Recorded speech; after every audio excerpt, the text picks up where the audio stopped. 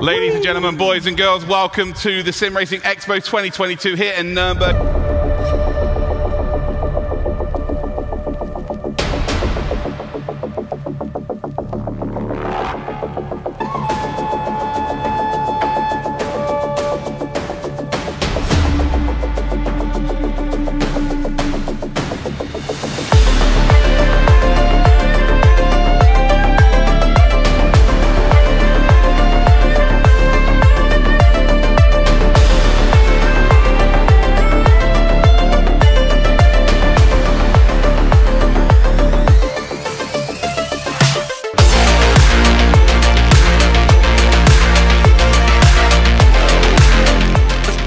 Mustangs over there. Oh, it was Great all engagement. Mustangs. And I thought that was very surprising to see. When there are five cars to choose from and everyone just goes for the Mustang. When there's prizes on the line, they will pick the fastest car. It is Ah, yeah, as true. simple as that.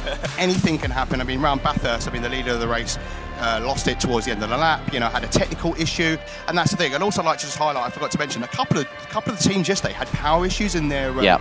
in their rigs as well. So. You know, they just got to hope and pray that none of that happens today, and I'm hoping for an amazing six-hour race. Cartier, would you mind having a quick word with us? Oh, we caught him. Oh, we caught him mid mid mid bite. Door Sports Blue, who have gone in the Bentley of all cars. Then it's Geeks Energy Sim Racing Black. Geeks Energy Sim Racing in the number 53. Absolute Motorsport are also on site and rounding out the grid. 32 cars because right now the final round goes green. We're underway.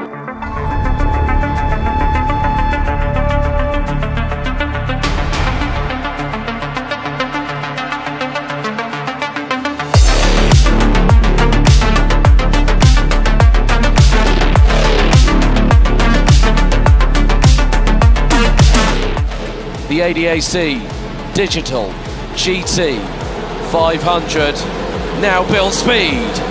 And we're off and racing. Good start by